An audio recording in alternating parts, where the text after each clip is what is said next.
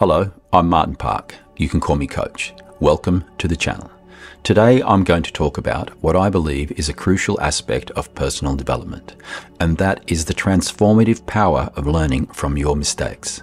And let me say right from the beginning, at the age of 66, along with my successes, I have failed many times and in many areas of my life.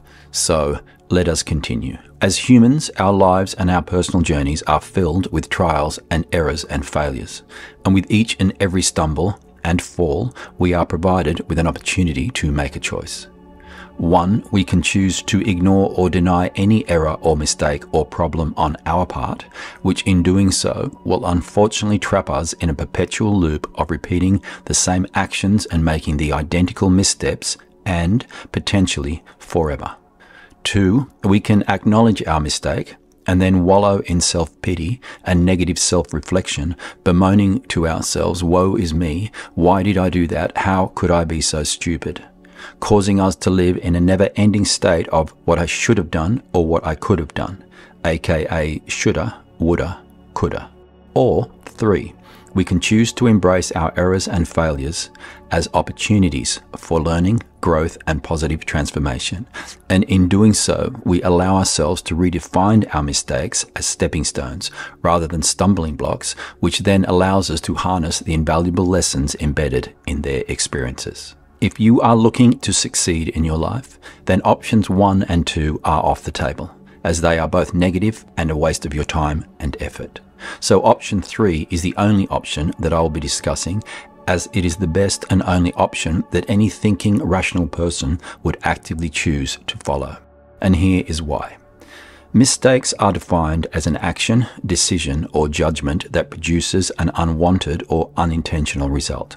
And while it is obvious just by the sheer nature of the word that mistakes are errors, faults, flaws, that doesn't mean or imply that mistakes are inherently negative. Let me say that in a different way.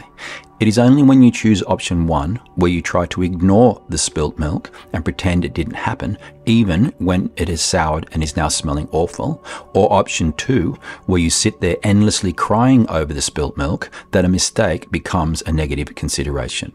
If you choose option three and embrace your errors and mistakes, and in doing so, you actively view them as opportunities for learning, growth, and a positive transformation, then there is no negative aspect at all. Zero. In the words of Bill Gates, it's fine to celebrate success, but it is far more important to heed the lessons of failure. Or, as Barack Obama wisely asserted, the only real mistake is the one from which we learn nothing. So, in essence, mistakes in their subtle complexity offer us not only an opportunity to grow, but they are, more importantly, a mirror to our own souls. Through reflective introspection and a growth mindset, as championed by pioneers like Carol Dweck, we don't just recognize errors, we unravel the intricacies of our thought processes, behaviors, and decision making mechanisms by embracing challenges and persisting in the face of setbacks and viewing our feedback not as criticism, but as a tool for growth. And how do we do that? It is quite simple, really. You need to overcome the fear of failure. And to do that, it requires courage as a courageous exploration of what went wrong, why it happened, and how these insights can be applied to your future endeavors are the questions that will assist you in your decision making process.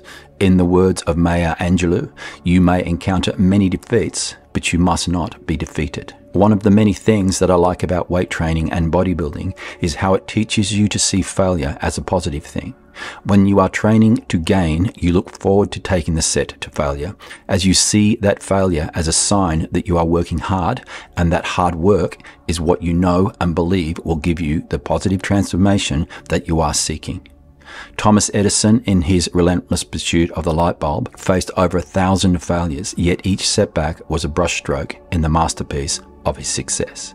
J.K. Rowling, who was rejected by numerous publishers, turned her setbacks into the magic that permeates the pages of Harry Potter. And Steve Jobs, who was sacked by the company that he created, Apple, orchestrated a triumphant comeback, reinventing the landscape of technology. The ability to learn from mistakes is a fundamental skill that can shape not only your personal development, but also influence your relationships, career, and overall quality of life. Embracing mistakes is therefore not a sign of weakness, but a testament to the strength and adaptability inherent in the human spirit, your spirit. Should you wish to dig deeper into this area, then here are a few book recommendations that you may find useful. Mindset, The New Psychology of Success by Carol S. Dweck. Atomic Habits by James Clear. Daring Greatly by Brene Brown. Thinking Fast and Slow by Daniel Kahneman.